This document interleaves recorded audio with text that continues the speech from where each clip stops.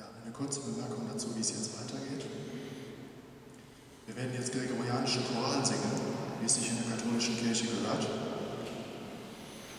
Und zwar auf eine Art, es ist ein gregorianischer Choral, der um 1200 in Paris entstanden ist, Veni Sancte Spiritus, die Bitte um den Heiligen Geist. Ja, und genau in der Zeit an dem Ort, als dieser Choral entstand, entstand auch die früheste mehrstimmige Musik in Europa, die heute bekannt ist. Das heißt, genau das, oder sehr ähnliches, was wir jetzt gleich machen, hat man wahrscheinlich damals auch damit gemacht. Man hat es einstimmig gesungen, später in Quintparallelen und noch später, eben um 1200, hat man zusätzliche Stimmen dazu improvisiert und später auch aufgeschrieben. Das machen wir jetzt einstimmig in Quintparallelen und mit improvisierter Oberstimme.